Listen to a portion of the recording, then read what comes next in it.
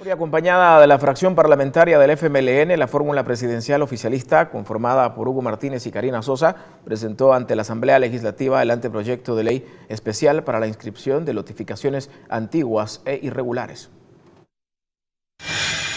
Tras escuchar en reiteradas ocasiones durante su visita a los 250 municipios del país que muchas familias de escasos recursos se encuentran en condición de vulnerabilidad y en el limbo jurídico por sus tierras, Hugo Martínez, en calidad de ciudadano, presentó un anteproyecto de ley para que sea estudiado por el Pleno Legislativo. Lo que persigue es resolver ese problema haciendo una legislación nueva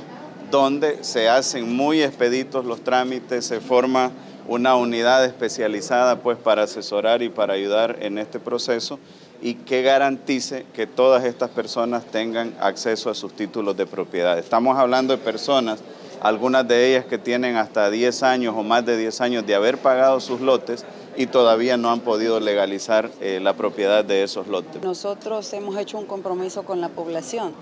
de no esperar hasta el próximo año en el que primero Dios seamos su presidente y su vicepresidenta para iniciar o tomar acciones concretas al respecto sobre situaciones que ya se pueden empezar a dar pasos importantes y este es uno de esos casos que nos hemos encontrado, no el único, porque hemos tomado acción ya en varias circunstancias, pero este es uno que hemos encontrado de manera reiterada en cada uno de los lugares que hemos visitado. Los diputados de la fracción de izquierda aseguraron que pondrán en agenda esta iniciativa para que sea analizada y aprobada y así dar garantía y protección jurídica del derecho de propiedad a los ciudadanos. Todos queremos tener una seguridad jurídica sobre la propiedad y esto va a ser una gran contribución a más de 350 mil familias en todo el país.